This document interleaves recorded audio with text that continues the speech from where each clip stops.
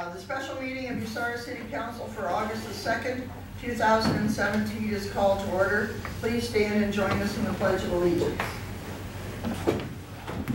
I pledge allegiance to the flag of the United States of America and to the republic for which it stands, one nation, under God, indivisible, with liberty and justice for all.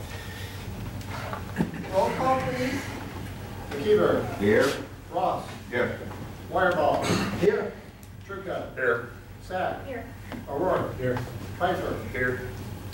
The reason this is a special meeting last night was National Night Out, and uh, uh, we moved uh, the council meeting so that uh, anybody that wanted to could attend, and I think it was very well attended. It was actually a beautiful evening. A lot of people were at uh, different parties in town. I think there were 15, weren't there, Mr. Mayor? 15. 15 of them. We made 12 of them. You You you made- made, you made 11, by the way. I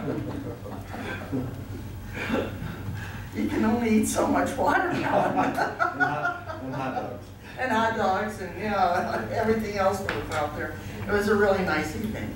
Um, Before you, you have the minutes from the July the 18th, 2017 regular meeting. I need a motion to accept those minutes. So move. Second. Motion by Mr. Wireball, second by Mr. McKeever to accept the minutes from the July 18th, 2017 regular meeting. All those in favor say aye. Aye. Opposed, say no. Motion passed. You also have the minutes from the July 20th, 2017 special meeting. I need a motion to accept those minutes. So. Second. Motion by Ms. Sacks, second by Mr. Pfeiffer. All those in favor of accepting the July the 20th, 2017 special meeting minutes, say aye. Aye. Opposed, say no. Motion passed.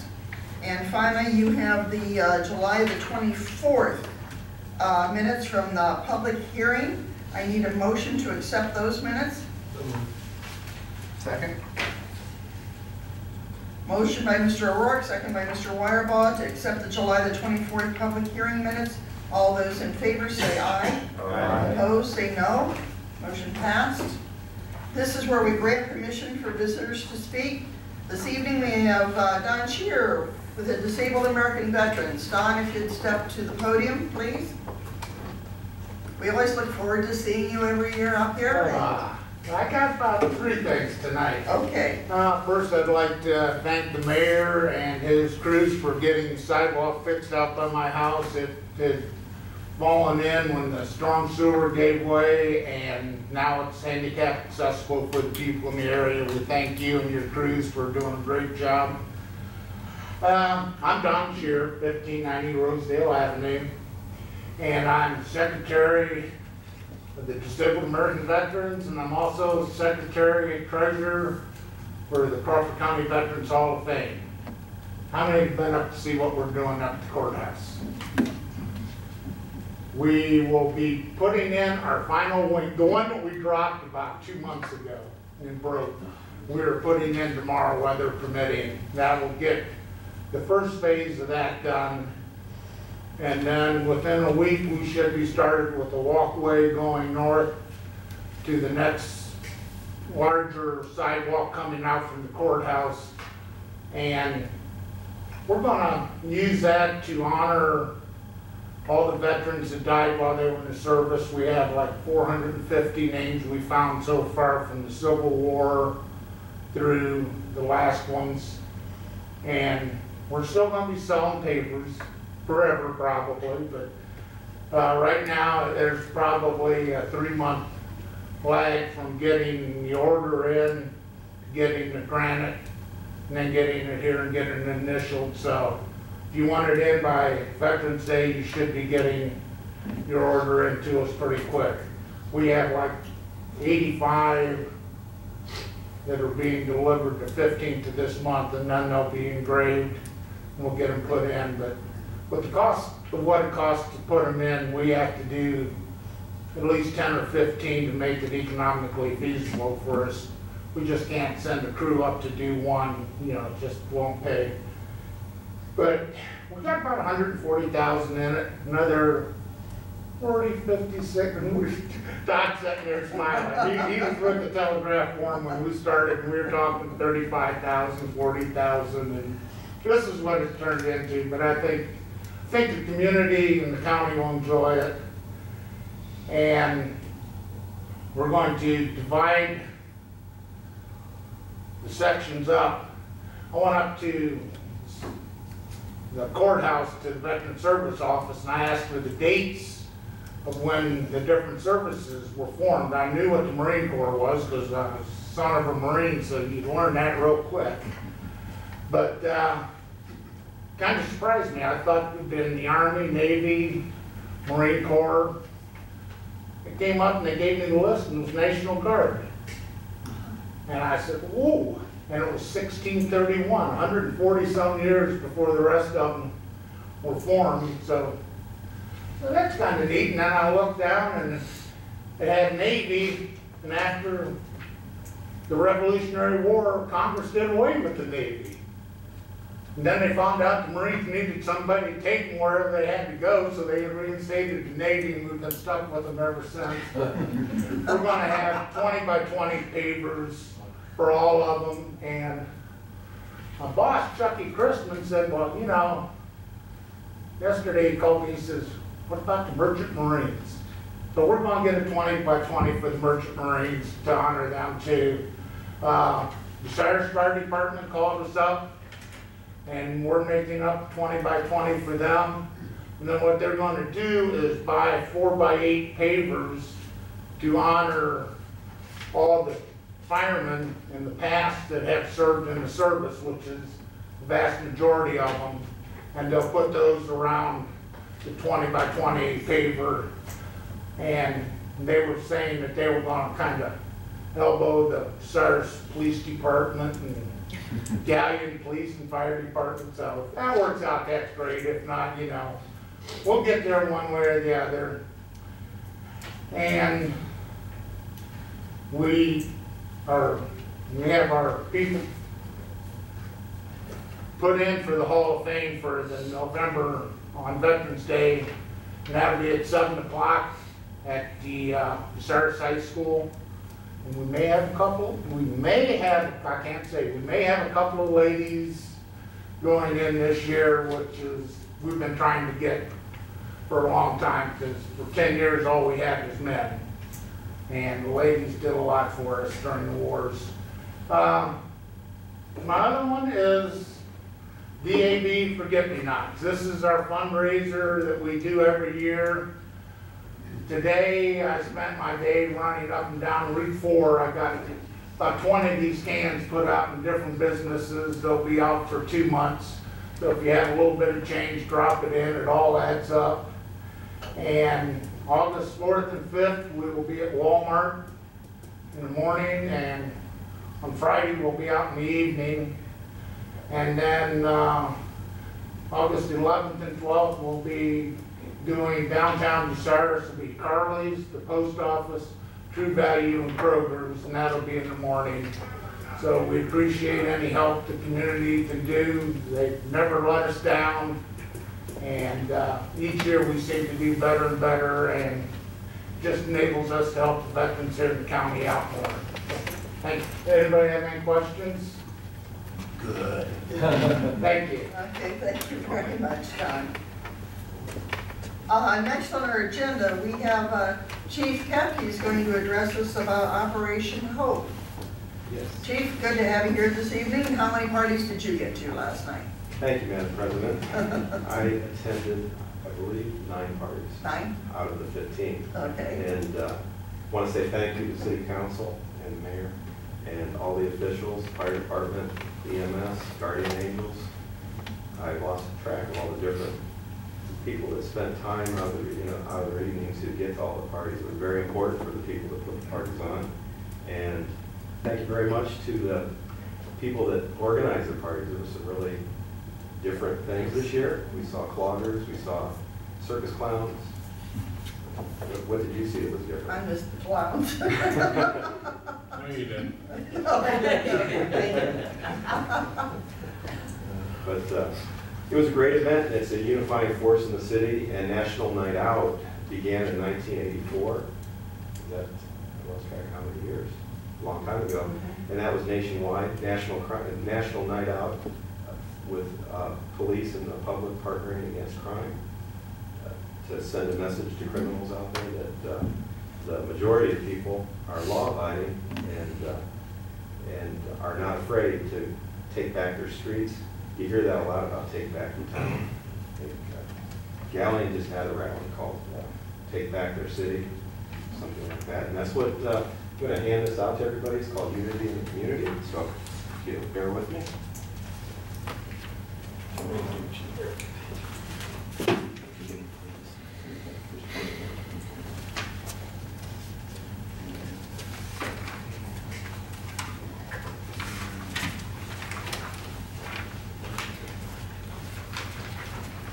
And the second one. Here, Kyle, will take these over there. Unity Yeah. in the Community. So we make its way around.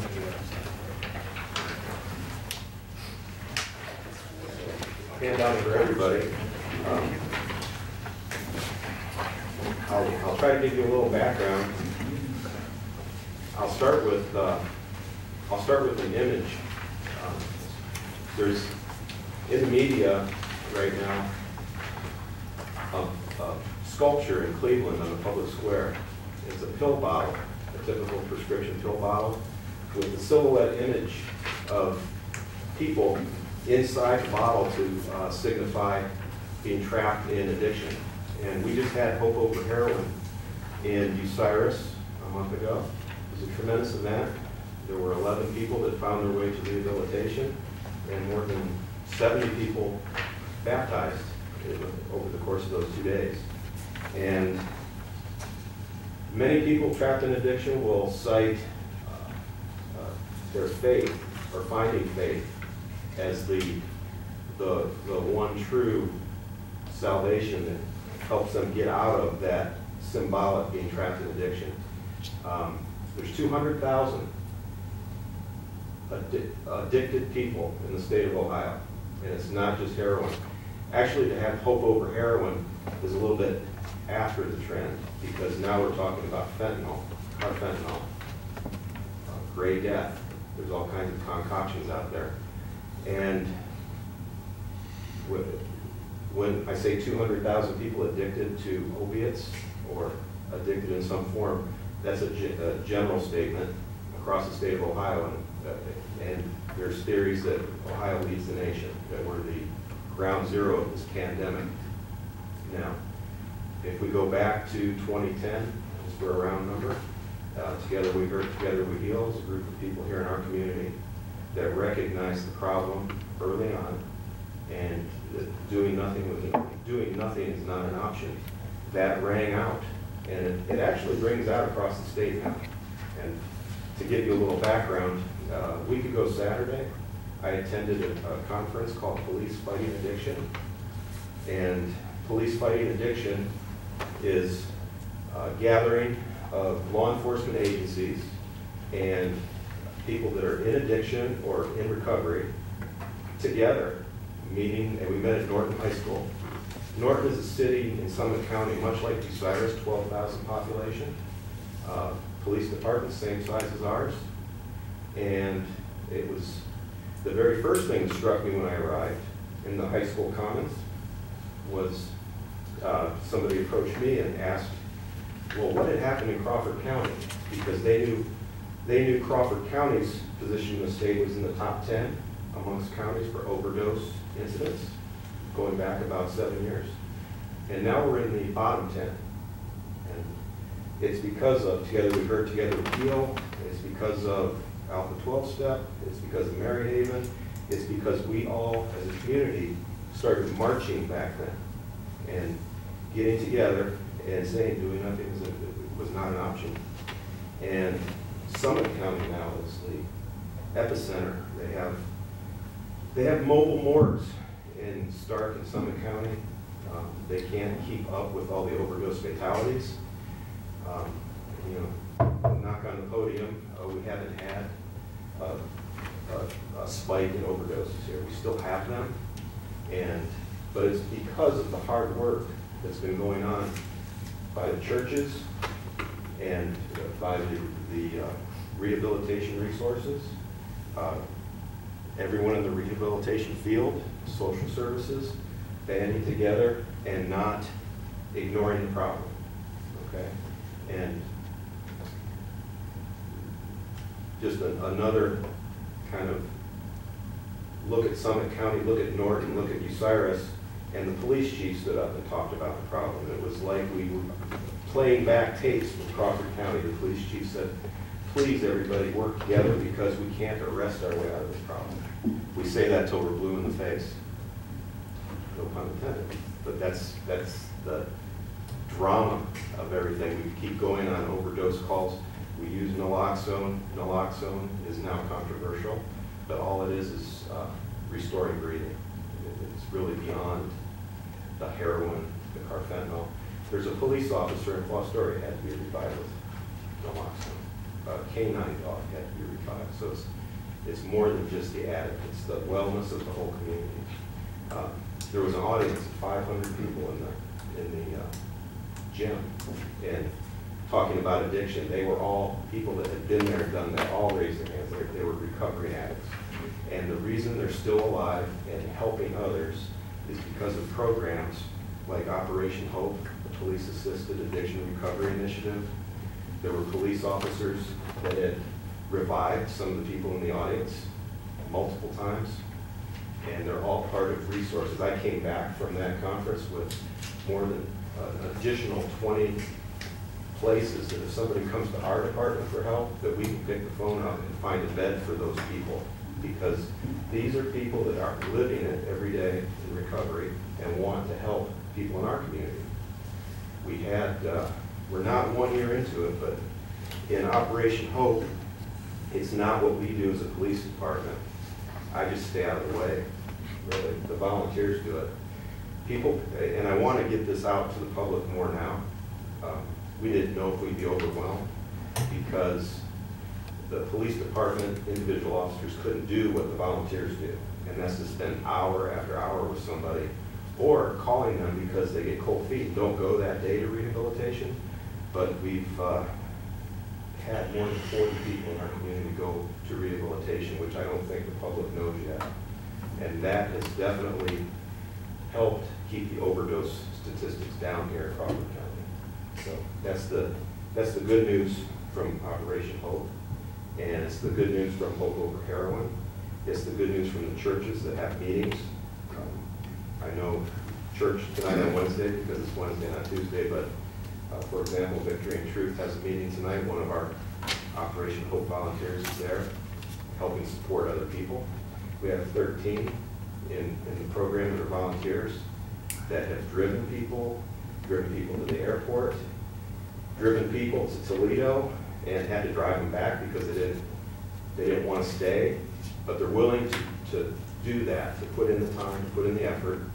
And uh, we're going to follow up uh, ahead of the community care march, which will happen, what date in November? It's the first Saturday in November, whatever that is. So the first Saturday in November, we're having the community care march, but it takes a constant effort to say, hey, the- we have great news, but we have to stay with it, and keep the momentum up, and I'll turn to unity in the community. One of the organizations that has helped place people in our community is from the Journey Life Center in Mansfield, Springville, 39, and it's called Project One, Recovery Road. And I'll give you a little example in detail. We have a a pregnant woman, excuse me, it wasn't that case. It was a woman and an eight-year-old child. It- It's hard enough to find a bed for an individual adult, but a woman with an eight-year-old child, we had, we, we took her to the uh, domestic violence shelter in Marion. She needed to be protected from uh, a violent uh, significant other. And we called Project One for help. The- There was a Facebook message put out there, and within an hour, we had 13 different options for that lady and her eight-year-old to travel to. And she's doing very well at a program as we speak right now. That was three months ago. So that's the kind of power there is in networking. And unity in the community is part of that networking.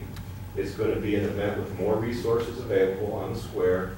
It's not going to detour traffic. I want to, it's, uh, it's like a, uh, it's like what we had last night with block parties.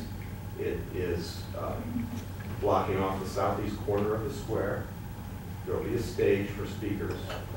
And uh, there'll be resource tables, there'll be an area for children to play while the adults can talk to people in social services to get help.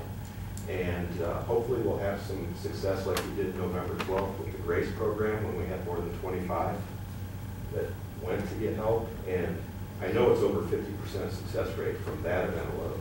And uh, we hope for more and more of that. And on September 16th, this- the day the water plant opens, but it'll be ongoing from 2 PM to 8 PM on the square, and we're going to set up at noon, and of course, welcome everyone during the day to stop in and see what's going on. So, Unity in the community, you have it in front of you there.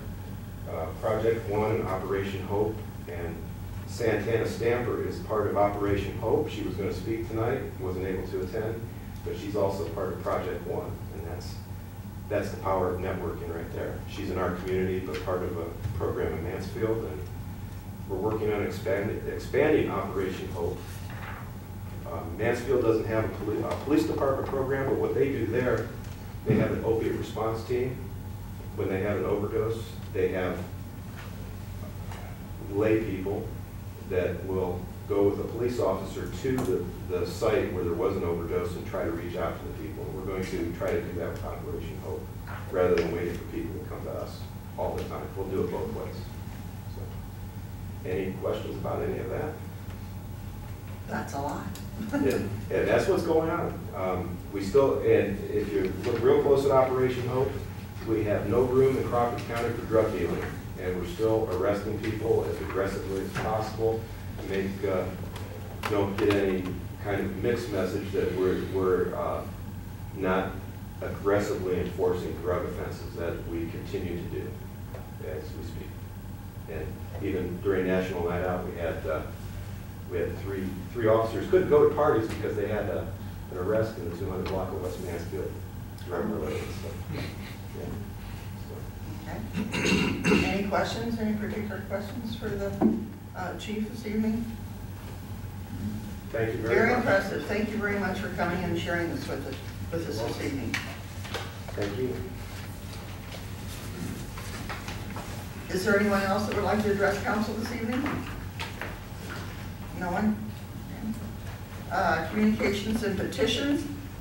We have one letter, this was uh, addressed to the mayor and other elected officials dated um, Monday, July 31, uh, to the Bucyrus leaders on behalf of the Hyde family.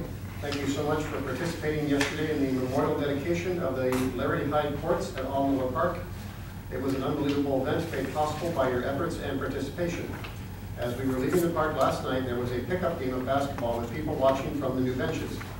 A truly moving and amazing sight to give back to the community in honor of my Uncle Larry. He was looking down and smiling for sure. Thank you all again, Michael Hyde. Thank you very much. We need a motion to accept and file this. So moved. Second? Second. Motion by Mr. McKeever, second by Ms. Sack, to accept and file the letter from Michael Hyde. All those in favor say aye. Aye. Opposed, say no. Thank you, it passed. Uh, Standing committee reports. Uh, Mr. Troop, I think you're going to get us started this evening here. Cyrus City Joint Regular Committees met Thursday, July 20, 2017, at 6 PM. Um, Cyrus City Joint Regular Committee meeting was called to order by Troop at 6 PM. Uh, Public participation, there was none, and order of business was the Service Committee, and it convened at 6 PM and it dealt with water line rules and ordinances, section nine fourteen. Members are Dan Wireball, Dan Ross, Bill O'Rourke, and myself, chairman. Number one, water line rules and ordinances, section nine one four Lynn McKeever of McKeever and Associates asked the committee for its opinion of a proposal to extend the city's water lines into surrounding counties, or county. Uh, Grants and loans are available to pay the costs of any expansion, while the county would pay an assessment. The water would be used for consumption, not to fight fires, which is the responsibility of the various townships. It was noted that the city has lost more than 400 water customers over the past 10 years. McKeever stated that adding more customers for the city's water would be a long-term process, but if the committee wishes to proceed with the proposal, section 914.01 of the codified ordinances would have to be amended in several places. Wireball made a motion seeking legislation making those changes with a second by O'Rourke. Motion passed by voice vote. Trucca recess the service committee at 6:57 PM. Questions or comments from Mr. Trucca regarding this meeting? None. Moving on to Finance Committee, Mr. O'Rourke. Finance Committee was met on Thursday the twentieth at six fifty-seven P M. Members are Steve Piper, Dan Warble, Monica Sack, Joe Wolf, Chairman, all were present. Item one, annual audit report by Perry Associates. Mr. Warble made a motion not to seek a post-audit meeting on the report presented to council by Auditor Joe Schiffer, second by Mr. Piper. Motion passed by voice vote. The matter will now go before the full council. Work recess the Finance Committee at seven o'clock P M. Any questions? Comments? Would you finish that? Uh, Before we do that, let's take uh, the vote. Uh, All, the entire council needs to vote on that post-audit meeting. All those in favor of not having the post-audit meeting with Perry and Associates? I, well, I need a motion first. So moved. Okay, second? Who's that? Mr. McKeever? Motion by Mr. O'Rourke, second by Mr. McKeever to uh, not ask for a po- post-audit meeting with Perry and Associates. All those in favor say aye. Aye. Opposed, say no. Motion passed. Thank you. Now, finish, please. Public partic- participation was none. Item five, work week, ask for a motion to adjourn the joint regular committees. Motion by Ms. Sack and second by Mr. McKeever to adjourn at seven o'clock P M. Motion passed. Thank you. Uh, Traffic Commission, we have no minutes this evening. Does anyone have questions for the mayor regarding traffic? Well, Monica and I do. We have concerned citizens on Walnut Street, especially in the nine hundred block, where my son's truck got hit in front of the, Speed, right. uh, due to, uh, Excessive speed. Yes, they were, they were concerned or asking about street signs, as in children at play, additional speed limit signs, something to curtail the, uh, especially where there's a lot of kids. I- I'll, uh, i- is it okay, Mayor? Sure, please do. I was there, I took all the pictures of the crash. That was a drugged driver. And actually, I'm gonna do a uh, public awareness with a picture of your truck, son's truck in the air. The, the uh, driver of the purple car was uh, asleep at the wheel, is the most generous way I could describe it. She was drugged. Um, So to take it a step further, it had nothing to do with speed. She had no control of the deadly weapon. Um, She was not, she does not represent the average or common driver in this city because most, everybody, ninety-nine point nine percent do not do what was done that day. Um, I hope everyone does respect the twenty-five mile per hour speed limit on all residential streets. It's, uh, I think we all read that in driver's ed, so we don't need to be reminded twenty-five miles per hour on all residential streets. One of the charges against the driver of the purple car should be, and I hope it sticks, is endangering children, because in front of that house, there were several toddlers, one to three years old, Two of mine. and they were standing a mere 15 feet from the truck, and the truck saved them. Mm. Um, The, the southbound purple car blasted a tree. It's a miracle it didn't overturn. The wheels, the, the uh, tires blew out, and it gouged the road from the east side all the way to the truck. Both rims flattened. tires flattened and rims flattened, and the, and the momentum of the purple car was still fast enough. Estimated speed probably forty to forty-five. Uh, Drugged, and the foot probably stuck on the, the pedal because they heard the roar of the engine about 10, 5, 10 houses down north of them. And uh, lifted the truck, what, about 3,000 pounds, lifted a foot or two off the ground, uh, under the purple car underwriting the truck. Um, There appeared to be no injuries to the driver. She was laying across the seat, some consciousness came back to her, and she started eating what was left of the cheeseburger she had in her hand. It was on the dashboard. Uh, That, that in a nutshell is drugged driving, and if anyone takes uh, controlled prescription pills, they should follow the directions on the label and not operate heavy machinery. That goes for all of us, law-abiding drivers. Uh, That, that particular day, the controlled substance, the prescription pills were being used in a recreational fashion to get high, um, being abused, and uh, I did not see that if there's a felony indictment coming on that. I haven't seen, I haven't seen a report yet uh, on the felony, so I'll have to wait. So, um, I hope that explains it somewhat. I wrote, I wrote part of the police report so I could keep speaking on it, but, yeah. No, I, I, they appreciate that. They appreciated your quick response, but still, you know, they're saying with all the kids, especially in South Walnut, um, And to add a little backstory, Wyandot County was chasing a fleeing felon driver that hit their back. earlier in the year at uh, 9:45. The, the end of that, if everyone remembers, there was a picture of a chase from Richland County that ended at the hospital. A similar kind of scene ended at the place set in the back at 945 South Walnut. As the uh, deputy in state patrol made the arrest there, we weren't even aware in Bucyrus. It had happened and it ended before we even got, I don't think they even bothered calling, they arrested him. And uh, we heard the sirens and noticed that there was a problem down there. And, uh, because it happened rather quickly. It was a Saturday or Sunday morning. But uh, what are the odds the same house would have two type of drivers on both sides? yeah. It- I did notice that the, uh, on Spring Street, I believe it was, you have the, the thing out that tells you how fast you're going. Yes.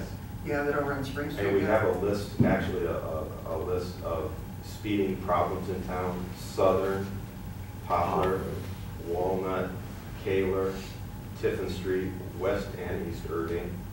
And we haven't been moving the traffic trailer around, uh, weekly. It's more like monthly, so I don't know that we'll get to each one before winter time. But, uh, it's a, it's a reminder and it raises the blood pressure of the driver. That's, it, it doesn't keep stats for us. Um, We are looking into some, that, that- and that trailer was from the uh, Bariska Foundation, the Bariska estate. Uh, Her estate purchased that back in the early two thousands. And the technology now actually has come down in price, and there's technology out there that would give us more statistical information. Ballpark, about five thousand dollar investment from the city if we wanted to get about two signs to help us monitor traffic without, without what happened at the legislator or Supreme Court this week saying that traffic enforcement remotely is, uh, I guess, the law director can speak to it. We don't do that in Bucyrus, and I don't think we want to, but Yeah. you could, if- you Well, want to ask about it, you Yeah, talk about that. they keep going back and forth on whether it's permitted or not. Right now, it's permitted, Right. so. But uh, in the meantime, we want to just raise awareness. Remember, drivers at 25 on all city streets unless it's a state route or posted otherwise. That's, that's the rule of thumb, so. um, Any questions about that? Mr. Lynn? All those streets you just mentioned, how many uh, traffic tickets have been issued? I can't give you an exact number, but we were, we're writing traffic tickets all the time, so. Mr. Law Director? How many? On those streets, I, I have no way to know. I- I don't, I don't track them by. You can have all the speed trailers you want, mhm. enforcement is your answer. If we're getting the complaints, I think it's up to you and the mayor to have your, your people out there. I, I will say, I have noticed, especially my different hours I was working, I've seen your officers up and down Poplar mm-hmm. and Oakwood. They come different ways trying to I do see them. Yeah. And, and they do enforce it in a moving fashion. They don't have to be parked to, the- they moving radar. Right, right, they are, they're driving and that's, And because as you offered your driveway, it, it's still available. the, uh, it's, it's hard to explain, but the, the radar unit is a fixed mount in the car and it's only pointing out the front of the window, so they have to either parallel park or be on the move. They can park right in front of We the have acquired, we have acquired two new units called the Stalker. We, and it has a front, uh, like the state patrol, we, we never had a rear radar, but, uh, one of our night shift officers has the front and rear radar now. He's doing that very effectively. He likes having the, the rear antenna, so, yeah, if you're speeding up behind Officer Wolf at night, he might just activate the rear antenna. so. I mean, still, do you think about children at play signs? I mean, I don't know what the cost of them are. I kind of defer to Rob on that. I'm not, you know, I know when I, uh, my kids were young and playing on Plum Street there, um, and I came to the mayor and asked him, you know, can we put a children at play, and he, uh, he said that we, they don't do this, he doesn't do that because it's a liability issue for the city to put that up. Now, that's what I was told, I don't know, you know, I, I don't know if that's a possibility, it's, I, I, I think with a case like, typically speeders tend to be young people, um, especially young men, um, but I'm not sure not that. the ones I've seen. I'm not sure, I'm not sure they're gonna be, you know, children at play, and you got the whole issue of, of not just drug driving, um, you know, Bill brings up the point, I mean, it's, the distracted driving is, is a huge thing. I, I sat tonight and watched cars go by, they wait for red light, and about, you know, one out of maybe eight people, uh, they're looking at a phone. You know, they may not be texting, but they're looking at their phone, checking Facebook or whatever, I don't know what they're doing. But that's, that's a, that's an issue along with speeding, we've got, we've got some serious potential issues. The, uh, the biggest offense we have in municipal court, traffic related, is the first degree misdemeanor driver who doesn't have a driver's license and has no entitlement to be on the road in the first place. Uh, One, some, some say one out of five drivers don't have a license or driving privileges. In Bucyrus, is probably closer to one out of eight or nine. Five or six a week at least, Yes. Really? just that you catch. And a lot of times, a lot of times the officers will stop somebody for speed and the offense, they find out no driving privilege and that's, that's what the charge is. So, uh, we don't stack charges on tickets. So, Can I just make a suggestion? Excuse me, Bill, go ahead. I, uh, reference a sign there, I mean, I've been on this for twenty-nine years, and be real honest with you, uh, on the side of the streets you want to put it on, I don't think, the number of cars that park there, I don't think it's gonna be real visible, and they're gonna have to pay much attention to it anyway. I'm just saying, if you put it on the side where there's no parking, at least something. I- That's just a suggestion, Madam President. whatever you can do. I mean, Madam President, can I make a suggestion? Why don't we continue this discussion at, uh, at the traffic commission, uh, you know, and, and, and invite the public and everyone to. And do we have the next at least week she can scheduled? Be there, yeah. and then we can talk about some of these things, so maybe get a, get a plan and, and, uh, you know, go in greater detail on it. And uh, I'll bring one that, uh, West Mansfield Street, near Heartland of Bucyrus. It's 55 miles per hour on one side of the street, 25 on the other. And it's probably, I think we've talked about it, but it'd be great if we could address that. and At the west end of Heartland, have 35 maybe, some kind of a buffer from 55 to 25, because you get to DT patrol lane, you're, in theory, supposed to go from 55 to 25. Uh, It's, uh, we had a problem like that on Kerstetter Road a while back, and it was fixed, but, yeah, I- that might make it to council. Do we have a, uh, a traffic commission scheduled yet or not? Or you're Schedule, we can at- yeah. schedule it right now. Okay, How about Friday, August twenty-fifth at ten AM? Friday, August the twenty-fifth at ten AM. Okay? Thank you. Other traffic questions, comments? I have one, but I'll save it, uh, after Mayor reads report. Probably the only thing that I would like to say about it is that, uh, since now I am in the middle of living in a uh, construction zone, uh, the, uh, when the signs say the street's closed, the street's closed, I'm amazed the number of people that go through and think that the- there are big trucks, there's big machinery that's moving around down there, and they think that they can fit through it. And that's not a good thing to see, because you're gonna lose. Those things are a lot bigger than you are, right? A lot of them, yes. So, uh, be aware of that, and I know, be kind to your neighbors, because you're, everybody's trying to find a place to park. If you can't park at your home on Southern, you're parking somewhere else. Be kind to your neighbors and make sure you leave plenty of room for them. And, uh, don't think that everything can squeeze through a tiny little area. I saw a big truck that was hauling out the dirt backing down East Street today. And with cars parked and a sign and everything else, and I'm going, oh, I didn't need to watch that. So, uh, uh, be, be aware of all that. It just need, takes a little bit of common sense, I think. Okay, I need a motion to accept the committee minutes and related committee reports collectively. So. Second. Motion by Mr. O'Rourke, second by Mr. Trucca to accept the uh, committee uh, minutes and related committee reports. All those in favor say aye. Aye. Opposed, say no. Motion passed. We'll move on to the report of city officers. Mayor Reser. Yes, thank you, Madam President. Um, Well, you know, Sunday was a special day for us. I know we, we had to keep it quiet to make it a surprise uh, to the Hyde family, but I, I, I hope you all checked your email and saw that I sent an email announcing it late on Friday, so. We had a wonderful turnout, uh, well over 100, 150 people there. Um, Hyde family was, was thrilled and just shocked.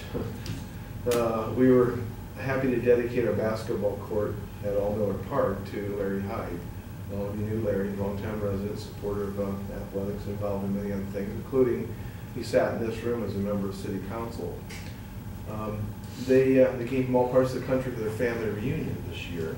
And uh, um, Michael, the nephew, whose uh, letter you wrote, reached out probably in the spring, early spring, and, and was looking for a way that, uh, you know, they could partner with the city to, uh, to honor Larry. I said, I think we got the perfect idea. Courts were in need of some rehab at that time, and, uh, you know, they, they agreed to, uh, to the changes, and we had some nice amenities like benches, some trees, had a wonderful display of, uh, I hope you have- get a chance to see it, if you haven't seen it, it's really impressive, and it's probably, I don't see where there's a nicer outdoor court um, anywhere, and if you, um, if you, the saying in the movie, can't remember what the movie was, uh, Field of Dreams, if you build it, they will come.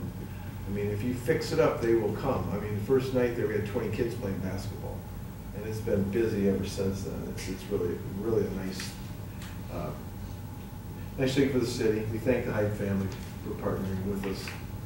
And, uh, now we gotta turn our attention to tennis courts. They are in pathetic shape and getting worse. Uh, Hope to get it done as soon as possible, if this year if we can.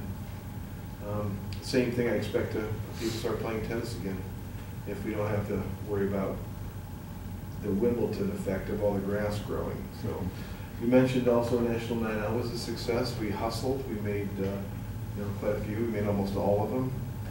Um, Everyone was uh, very gracious and, and, and very complimentary of, uh, of the city and how things look and uh, it was really nice to get out, you know. And just unfortunately, we just couldn't make all of them. Chief said it makes us closer as a community. So thanks to the police department for heading that up. Um, Flowers is just around the corner, and, uh, I mean, they're working hard this year. Those guys, said they've got new people, new blood. Um, I, I, I like their idea for the lead float. They're going to have fifty years of mayors, since it's Broddy's fiftieth anniversary. There's going to be either the living mayors or family members on, on, the, uh, in the floats every night. We've heard from all, uh, mayors and all, uh, know, or uh, relatives, and we're gonna have, uh, it'll be in there three nights, very nice.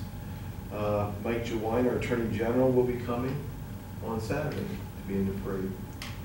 Um, As Chief mentioned earlier, there's another large event on September sixteenth, that's the uh, dedicated new water treatment plant, we're working on a punch-out list now. Um, Things like, uh, just cleaning it up, little things that have to be tweaked. The outdoor landscaping will be going in soon, uh, grass, more grass planted, those types of things. Uh, Invitations have gone out, we've heard back from quite a few people. It's gonna be a huge celebration. We're gonna, the tentative plan right now is to start the tours at ten, and uh, we'll have a dedication at noon. In case anyone wonders, the Buckeyes don't play till four, so we have plenty of time. And, uh, Keep it. yeah. No. Yes. And so, that's all I have for tonight, except I have one referral. It's that I would like to refer the repair of the swimming pool, which we have a large crack in the swimming pool, to lands and buildings and finance. Okay, any questions or comments for the mayor? Did you get an estimate on the crack? Uh, we have one so far, but we're, we're gonna get others too. Eighty-five thousand was the first estimate, so. Don't fall out of your Oh, I chair. didn't hear that. What'd you say? Yeah. Any other questions? Yeah, well, it's cheaper than a new one, so it's still in pretty good shape except for the crack. I have several. Okay. Um, I got, got your email the other day on the council questions from last meeting. And the first one had, it was stated, look at Beale Avenue, railroad crossing, from railroad lighting, and or sidewalk for pedestrians. I- I wasn't just talking to railroad, I was talking from the railroad out to Beale Avenue, To put a sidewalk the whole way, all the way out to Whetstone? Beale.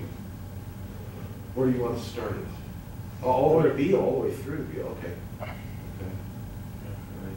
All right. Well, Um, we could, we could look at that. I, I'm not sure, are we allowed using muni funds for sidewalk? Do you know, James? Okay. Item uh, two. I've, I've seen it all over town, but the, um, along the curbs, grass, grass and weeds are growing, Yes, we have an issue there. We've, and they either need sprayed, burned, or else they're going Yeah, to we- break up the pavement. yes, good point.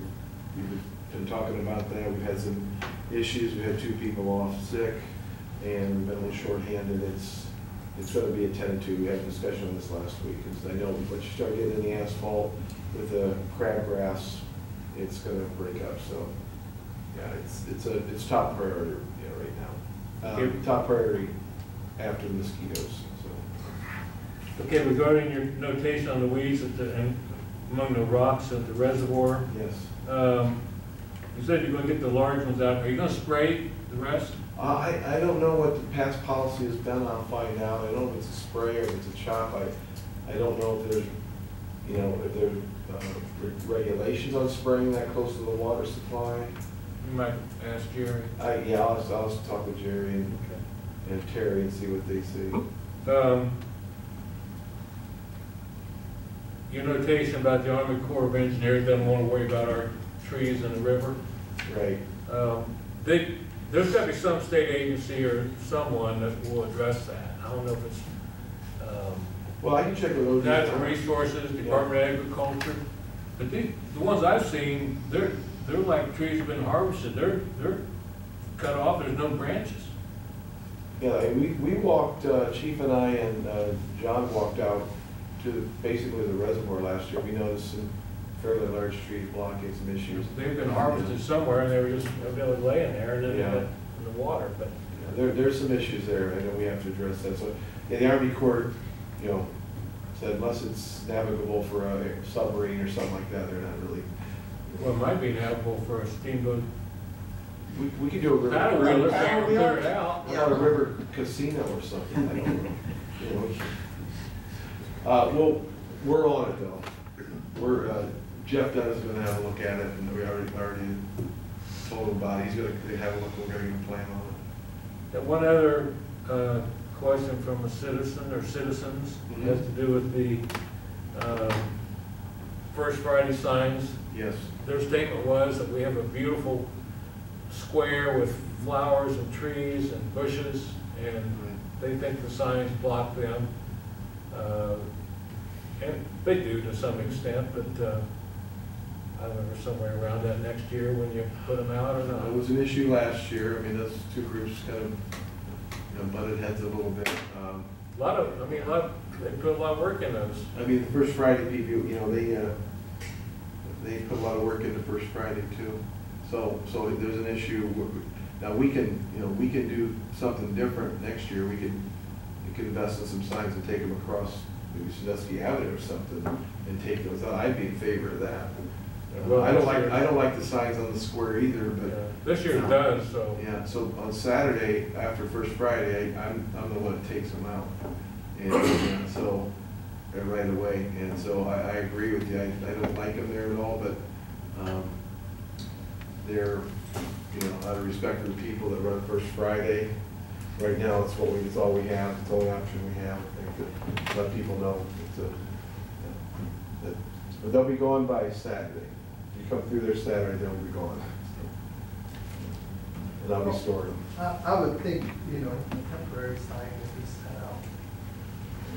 You know, uh, and they, and uh, do we have to have it set out for thirty days, well, ninety days or whatever? But we can, you know, I mean, a week before, put it out, hey, or, you know, the Friday That's a good before, idea. hey, this, this Friday, or, you know, because it's like a billboard that you drive I by. understand. Once you see it the first three times, you quit looking at it I know. anyhow, so. Nobody's looking at y'all, it y'all, make- y'all make good points. I mean, it's nothing that we haven't discussed before, and I'm on your side on this, so. But, I mean, um, for the people that put a lot of work into this to make this thing uh, fly, um, it's, it's been a pretty successful promotion for the most part. You know, they had a little weather issue last time, but, um, I think next year we need to tweak the sign. So, let your friends know that, you know, we're gonna, we're gonna work on it. Any other questions? Yes. Mayor? Yes, Mr. Ross? Maybe more of a uh, circuit breaker question, but he's not here, but, uh, some of the neighbors over in, uh, two hundred block of, uh, Woodlawn, Okay? the church next to the elementary school tore that house down next to it. Uh, and the house is down, it's all replanted grass and everything. But the neighbors said, have told me that there's about twenty feet of sidewalk that's left all broken up. And there's a small section of our city curb that's broken up. Now, they should be made, the contractors should be So- made to repair that, I would think, you know, so. You talking about Wood, Wood, I'm not sure exactly on Woodlawn that is. I- you I- know, You know what it is? Yeah, yeah, I'll Baptist have, Church. I'll have, uh, I'll have, uh, uh, Bud Grove go over and take a look at it. Yeah. And, uh, It's yeah, a- sidewalk a- is the It's property. a owner. church right next to the elementary Right. Woodlawn. And then there, they had a house torn down. And, but like I say, there's about 20, 25 feet of sidewalk that's left broken up. There's a small section of curb that's broken up. You know, the neighbors say, wait, you know, kids are gonna be going to school in about three weeks, you know, so, you know, So Okay, We'll, we'll get out there and take a look at it. yeah, thank you. so, okay, thank you. Anything else? I need a motion then to put the repair for the swimming pool into lands and buildings and finance. So moved. Second. Motion by Mr. McKeever, second by Mr. Trucca to put the repair of the swimming pool to lands and buildings and finance. All those in favor say aye. Aye. Opposed, say no. Motion passed. Thank you. Moving on to the service director. The service director's yes. not with us this evening. I have his report right here.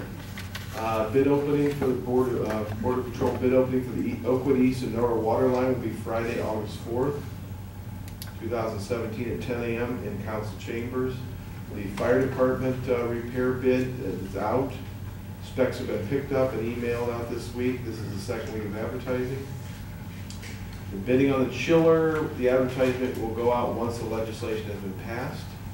Uh, We welcome Eric Clady, our new uh, maintenance associate, uh, who comes to us uh, with uh, lots of uh, experience in HVAC and electricity, among other things. He's he's done a job, in three weeks now, doing a fantastic job.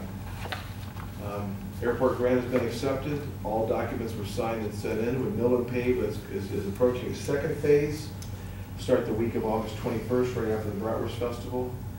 Um, The State Route 98 project will be going to bid in the fall, probably in October, and work will begin in January. The budget meetings have been set. They're going to begin this month, and we hope to be ready by the end of September, meet with Finance Committee. Um, Heads up on the uh, Labor Day garbage pickup, I know it's about a month out, but uh, as usual, the Monday garbage will be picked up on Tuesday, And uh, make sure you have your garbage out by seven AM as usual. Um, Three referrals, OPWC for 2018 to Service Committee and Finance Committee. Another referral for park easement to Public Lands and Building Committee. And a referral, um, let's see, is that right, Ron, that last one? Yeah. So we- are we- We're not repealing that one, are we? No, it's a, uh, it's a uh, Just a new one. So new, we- new resolution for the, We we for the loan. So we're just gonna re- refer a new resolu- resolution for the WPCF loan agreement as an emergency to the Finance Committee. Okay. Any questions about the uh, service director's report? Okay, I need a motion to refer the OPWC for 2018 to the Service Committee and Finance Committees. So moved. Motion by Mr. Wireball, second by Mr. Sack to refer the OPWC for 218 2018 to Service Committee and Finance. All those in favor say aye. Opposed, say no. Motion passed. We also need to refer the park easement uh, to Public Lands and Buildings Committee. Do I have a motion, please? So moved. Second? Second. Motion by Mr. McKeever, second by Ms. Sack, to uh, put the park easement to Public Lands and Buildings Committee. All those in favor say aye. Aye. Opposed, say no. And finally, uh, we need uh, the uh, Water Pollution Control Fund, WPCF loan agreement. It is an emergency, we need it to go to Finance Committee, and the deadline is Friday. So uh, the, uh, what we're going to see is uh, uh, announcing a special uh, council meeting Thursday, tomorrow evening. We've already announced it, correct? Yes, sir. It's already been sent out to the media. We're gonna have a special council meeting uh, tomorrow evening after the committee meetings, so we can meet the uh, August 4th deadline for this. So I need a motion to put that into committee. Second. I'm sorry, who said yes? Mr. O'Rourke, and second was Mr. Piper. Motion by Mr. O'Rourke, second by Mr. Piper for the Water Pollution Control Fund loan agreement. All those in, to Finance Committee, all those in favor say aye. Aye. Opposed, say no. Motion passed. Thank you. Uh, that takes care of those two. Turn the page. Law Director, Mr. Ratliff. Thank you, Madam President. Uh, No written report, we entered some uh, stats. Uh, July is uh, a tax court-free month, so nothing there. Uh, Nothing to refer, and uh, that's all I have. Okay. Oh, except for the chief, he looks very questionable back there. Can I pose a question? Always. I, I'm speaking on behalf of the board of Bucyrus Area Youth Soccer. Uh, we were down at the park, uh, looking, just noticed the, uh, looks like the, the house on Clinton Street might be coming down. Is- The you- white one? Yes. Yes. What's the status of that? Uh, Some of your uh, officers, as well as the uh, special response team, uh, last week practiced in the house, so it may have suffered some slight damage. Um, But it is uh, slated for demolition. It is one of the, uh, is one of the first ones that, that are kind of on the, uh, on the mix for, for demolition. I think the contract's already been done Yeah, on that. contracts have been signed Yeah, were it's. I think it's in first five kind of group on those. And then, um, Land Bank controls that, and I believe Land Bank, uh, I can't speak specifically, but I believe Land Bank has been in touch with Bucyrus Youth Soccer about, uh, giving them or allowing them access and control of that. We Once had, it's, we've once had, it's back to grass. we've had two board meetings recently in the summertime, um, and we were curious about that because of, uh, the, um, possibility of having a pavilion added to the park, um, in the near future. By, with a property, another property down there. Yeah, and, and there- there's a little more land, and I think we had, I don't know who, we, talked- was that, we talked at some point in time about the alleys and everything across the street, and maybe how to better use some of that land, so, yeah, we, We could refer that to Public Lands and Buildings if you want to kind of discuss that. I don't know if it's premature yet or not. We, we do have, uh, well, I'll ask Matt McCoy, the president of the soccer program at this particular time to, again, return to council, or do you have a particular venue he should approach Uh-oh. with ideas, big picture ideas about the park? First step would be to give it to Gary, uh, with respect to land bank, find out what their timetable is as far as how they're gonna deal with that, that house. And then secondly, um, we can talk about, you know, uh, long-term planning down there. And you can come to council and give a presentation to us, yeah? Okay. We'd love to hear it. I'll, I'll give you a quick update if it's okay about that. Um, August fifth, nine to eleven AM is the, is one of the in-person sign-up times. And anyone interested in Bucyrus Area Youth Soccer, it's all online, the registration, but they'll get assistance nine to eleven on Saturday to, to do that. There's Wi-Fi at the park. Sure. And um, there's also Soccer Fest Tuesday, August 15th, 6 p.m. to 8 p.m. That'll be the last day for registration, online or in person. Soccer Fest is a party in the park with soccer and other events. And the Bucyrus Soccer Club, the high school kids, there's not yet a high school program other than Galion, but there's 40 uh, kids age 15 through 18 that are out for soccer this fall in Bucyrus, and they're um, going to compete against other high schools. Um, they uh, will have an alumni game the night of Soccer Fest, and then September 11th, Galion High School is going to play the high school kids in Bucyrus at 7.30. So mark your calendar for that. And anyone that needs assistance registering can see me at the police department during business hours. I'll, I'll help them. We have Wi-Fi, and we can get on a tablet and, and help them do registration, and it's, uh, it's online at bucyrussoccer.com, all one word. And, and it's not just for kids in Bucyrus, I mean, especially with the little kids, and there, there's, there's hundreds of them down there sometimes, I don't know where they all come from, but they're, they're from all over the place. We have, uh, It's we a have booming, booming thing. 29 teams uh, last spring, hopefully the- about that same number, and over 400 kids played this spring. Just to give you an idea. It's- It's amazing, it's amazing. It's- it's All your growing. references to the park mean the soccer park down on Lane Street, correct? Harmon, Harmon. Harmon Park? Lane Street Field, Harmon Park, Okay. and, uh, yeah, it was a great event last year when Galion played Bucyrus on the old football stadium. So, give you an idea, it was pretty significant. Some of us play football, on the old football stadium, it's not that old. Yeah, okay. Um, Yeah. Any other questions regarding Law Director? Mr. Turkett? Uh, what's the status of the property on East Warren Street on the south side of the street where we had that recent fire?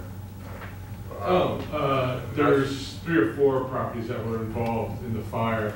Uh, one was mostly demolished by fire. Uh, the one beside it is being turned over to land bank to be demolished. Uh, and as is what's left of the one that was the, the main fire, uh, property. Um, the one to the east, I'm not sure what the status of that one was yet. The fire wasn't, uh, it wasn't as involved in the fire. Um, just had some, suck- it looks like just some stress off. But the two that were severely damaged are both, uh, now, uh, or working their way to land bank to be fully demolished.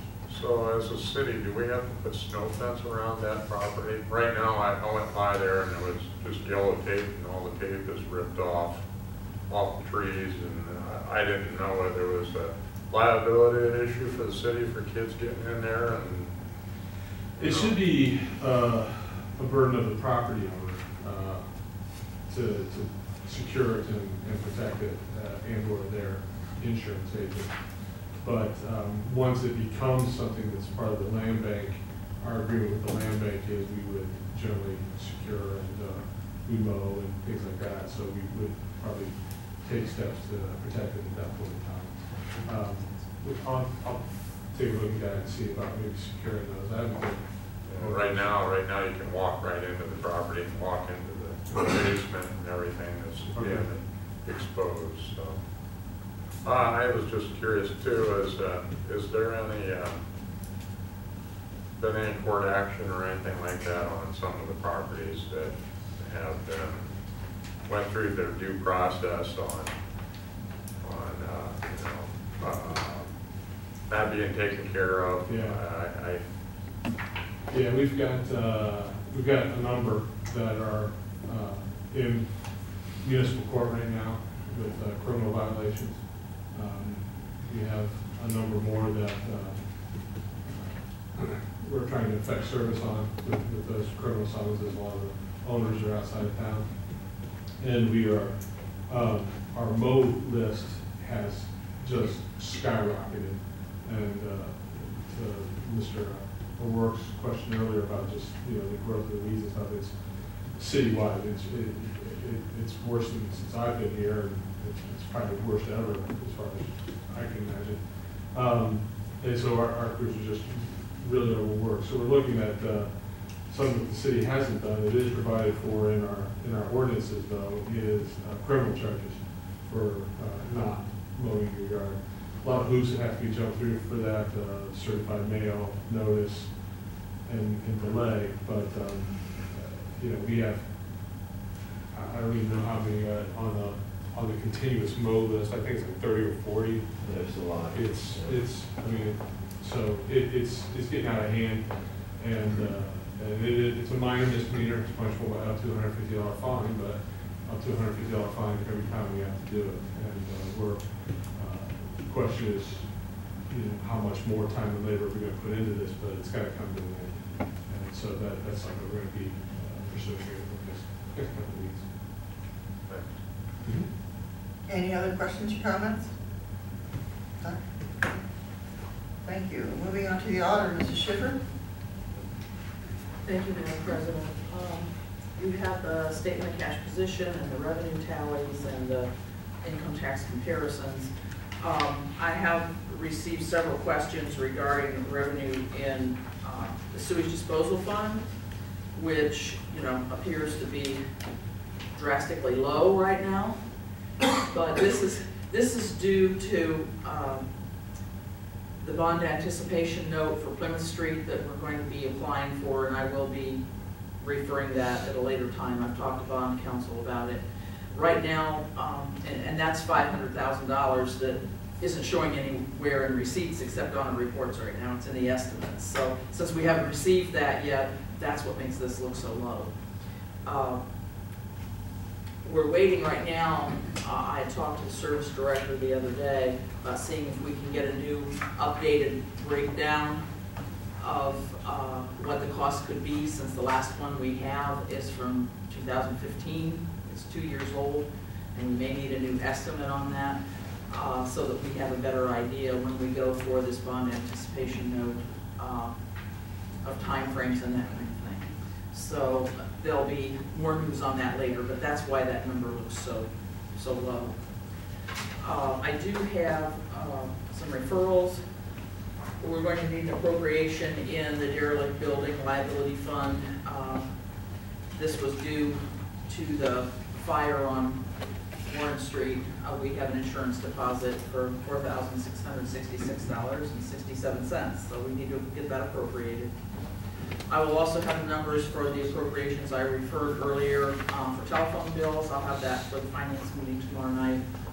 And also, uh, we've received a bill for our annual pledge to the Crawford County um, Education and Economic- Economic Development Partnership. That's too much to say.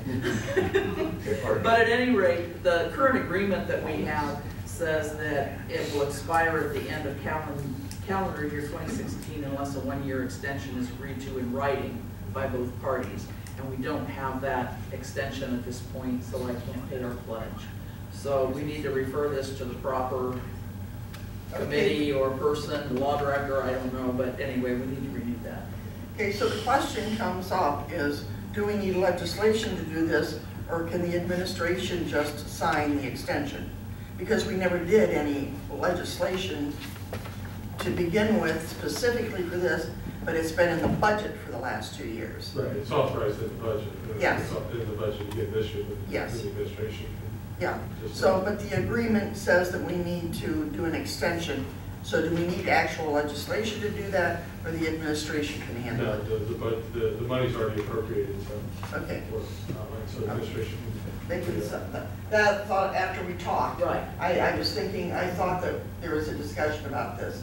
So you need to work it out with them to sign this extension. Someone needs to write up something to extend this thing, right? Do we have a copy of the original? We'll get a copy for you. Okay, Yeah. just, okay. Okay. Anything else for the, au- oh, we need uh, to uh, do these referrals for the auditor into uh, Finance Committee uh, for the derelict building liability fund, uh, additional insurance deposit. Uh, I need a motion. Put that into, oh wait, we might as well do them together. For Finance Committee, and we also have additional appropriations to cover telephone bills. Do I have a motion now? Okay, yeah. Thank you. Mr. Wireball, second? Second. Second by Ms. Sack for the uh, derelict building liability fund and the additional uh, telephone bills to Finance Committee. All those in favor say aye. Aye. Opposed, say no. Motion carries. Thank. Uh, Police chief, does the chief have any words that he wants to share with us this evening? I forgot to say one thing. I knew you'd always forget one thing. Come on up and have a say. The Bratwurst Festival, uh, I'll go back to the drug driving incident, and we'll be making a public notice, and that picture is uh, a great poster. Um, Drive sober or get pulled over happens uh, leading into the Labor Day weekend and coincides with the beginning of the Bratwurst Festival. So I remind everyone to pay attention to, that goes for everybody, and I, you know, if you have a root canal, they give you the pills, be careful, you shouldn't be driving. Have a medical procedure, uh, have a driver, things like that.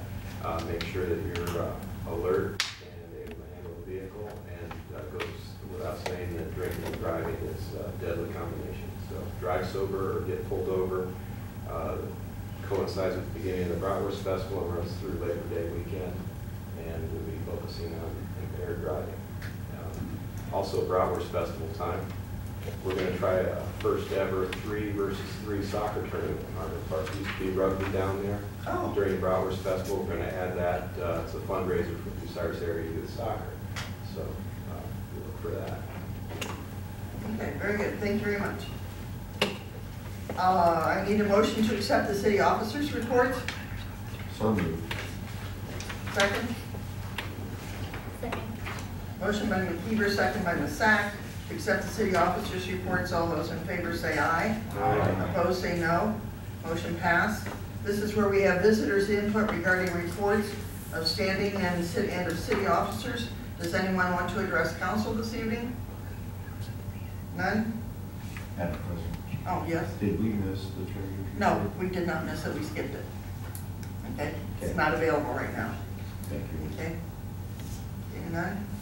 For consideration of proposed legislation for the first time. We have uh, two pieces of legislation. Um, Ordinance number 37, 2017, amending and supplementing section 914.01 entitled Extension Procedures of Chapter 914, entitled New Construction and Size of Water Lines, and Part 9 entitled Streets, Utilities, and Public Services Code of the codified ordinances of the City of Bucyrus, Ohio. That is referred back to Finance.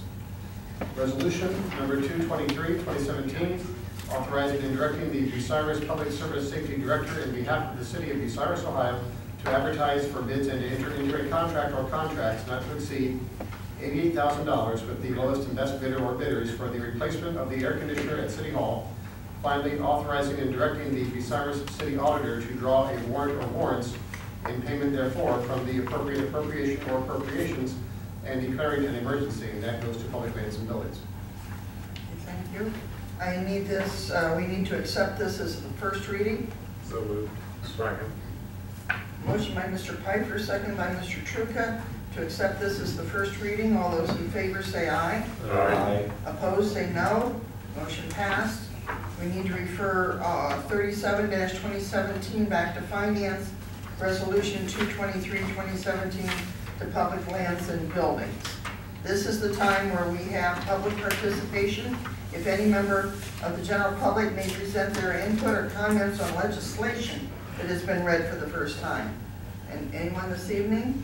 No one? Do we need a recess this evening? No? Okay. Uh, Committee reports on pending legislation. Finance Committee?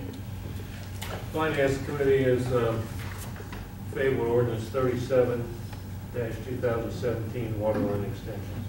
Okay, thank you. Uh, Public Lands and Buildings?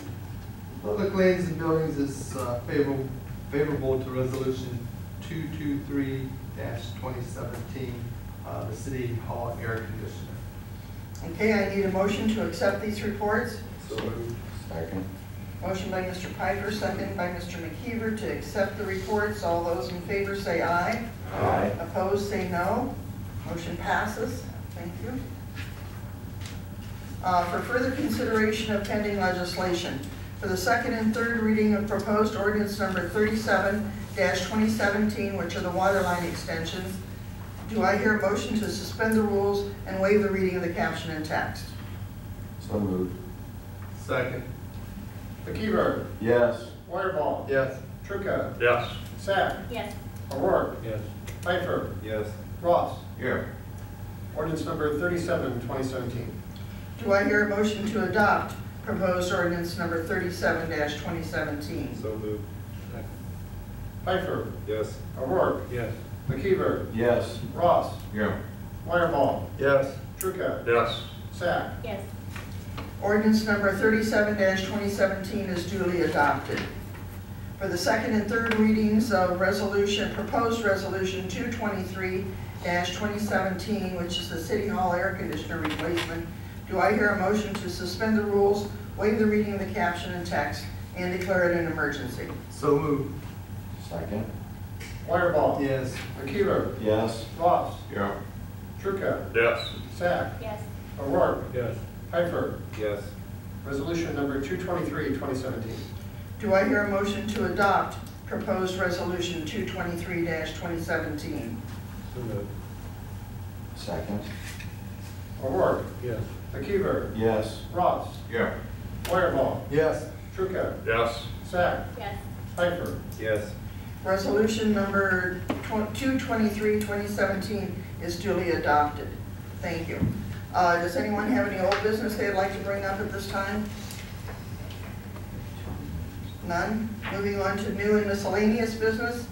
August the fourth, first Friday in downtown Bucyrus, honoring hometown heroes. Shines Par- Art Park ribbon cutting is at four thirty. Do you want to elaborate on that a little Yes, bit, gonna be, Mayor? it's gonna be an, uh, I guess, an unofficial opening, uh, of the park to the public. Uh, the park is not really done, we have some more things to go in the park yet, but, uh, we wanted to get open for this last first Friday. So at four thirty, if you would, uh, are free, please join us for a ribbon cutting. We're gonna have, uh, several artists in the park that night. Uh, so should be a good event. And then the, the plans then will be to have a dedication in either late September or early October, uh, as soon as the, the wall design is finished, so we'll keep informed on that. Okay, thank you very much. August the seventeenth through the nineteenth is the fiftieth annual Bucyrus Bratwurst Festival. August the twenty-second is the first day of school for Bucyrus City Schools. And uh, another reminder, September the sixteenth is the dedication of the new water treatment plant, beginning at ten AM. Uh, Anyone else with any new or miscellaneous business to bring before council? Um, Yes? Joyce, what about the Together, we heard Together We Heal annual banquet, is that, That will be August 29th, okay? and it's in Galion this year. And who can they contact? Uh, for tickets, you can contact me, I guess. Okay, in the auditor's office, okay? And that's a fundraiser for. It's a Together We- fundraiser for Together We Hurt, Together We Heal. Uh, We had our uh, National Night Out party at our recovery house last night and had a good turnout there. And we're working on moving forward to hopefully open our women's house uh, after the first of the year. So we have a property, uh, it has been turned over to us, we're working on grants right now. And so we're moving forward, so everybody help, please. Very good, thank you. It's, it's, it's just good to hear the news that there's always something new coming up that, doing what we can, okay? Um, anything else for new and, new business? Uh, we're all here this evening. Uh, the joint regular committee meetings are tomorrow evening at six P M. All referrals from this council meeting and any open project list items may be discussed during the committee meetings. Those, uh, for discussion tomorrow night are We have uh, five referrals from tonight. The uh, swi- swimming pool repairs to public land and public lands and buildings and finance from the administration. The OPWC grant for 2018 uh, to service and finance from administration. The All Park easement to public lands and buildings from administration. The WPCLF loan uh, application to finance from the administration.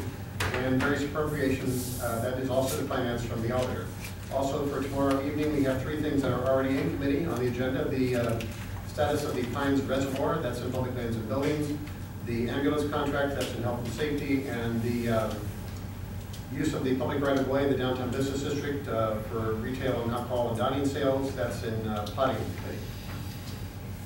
Okay, thank you. The next WBCO radio program is Wednesday, August the 9th. Uh, John Rostash uh, will be, uh, I think he's already recorded it, uh, but it will be on Wednesday, August the 9th at 9, is it 9 AM, I believe?